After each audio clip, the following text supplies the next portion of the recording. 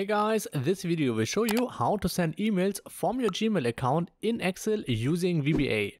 You could also add attachment and Excel cell ranges to your email. Optionally, you could also use placeholders. Those placeholders will be substituted by the values you specify in Excel. You can find the download link to this free template in the description box below. There is no additional coding required from your side. Okay, and without further ado, I will show you how to use this template. First things first, you want to write your Gmail address and password up here. To send emails from your Gmail account using VBA, you also need to enable less secure apps in your Google account. In the following worksheet, I have prepared a short guide for you on how to do it. First, navigate to the following website. Make sure you are logged in with the same Gmail account from which you want to send the emails. In my case, it is codingisfun.testuser at gmail.com. On this page, you need to enable the following and that's it. Back in Excel, I can now fill out the template. I have also provided you with an example on how to fill out this template. First, I will mark this row with an X. Only if you input an X, VBA will send the message. Next, I will select the type of attachment. There are three options to choose from and I will explain each option in this video. For the first message, I will select a global attachment. That means the file paths you enter up here will be used as an attachment for that email. To select files, you can click this button. If you hold down Ctrl, you could also select multiple files. Next, I will enter the receiver address. If you want to send emails to multiple receivers, you can do this by using a semicolon between each email address. The same applies to the CC and BCC. For the subject, I will type global attachment. Further on the right, you will see some optional inputs for the variables and ranges. Those are placeholders and can be used in the body of the email. And speaking of the body, so the actual text that will appear in the email is located in a separate worksheet. You will notice that this is one giant cell.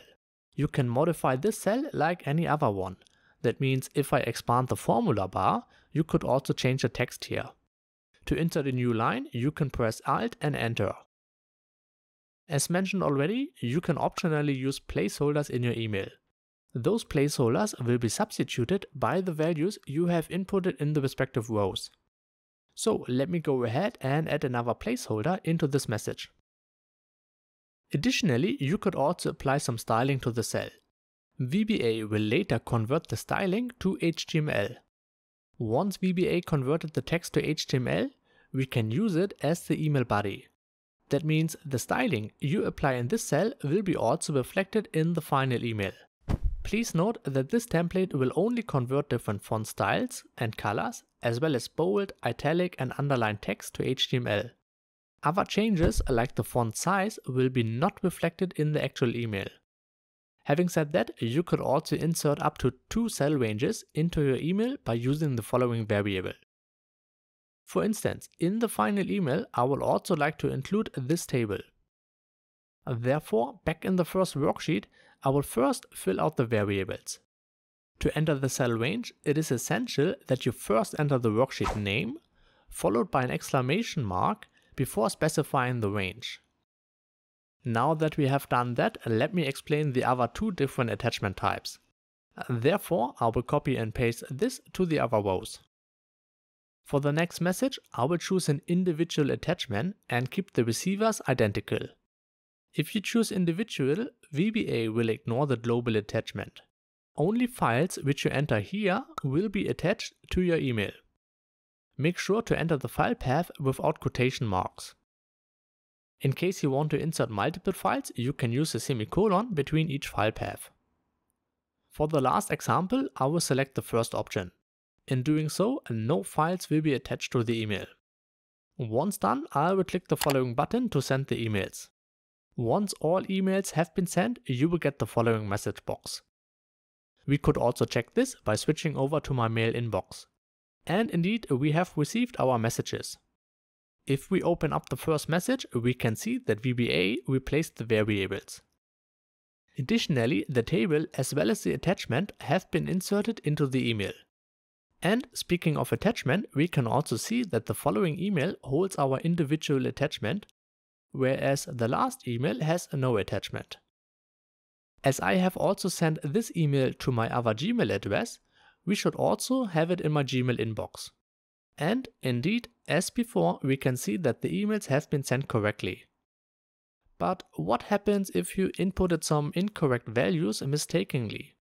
For example, if you enter a path to a file which does not exist, or specify an invalid cell range, VBA will not send the messages.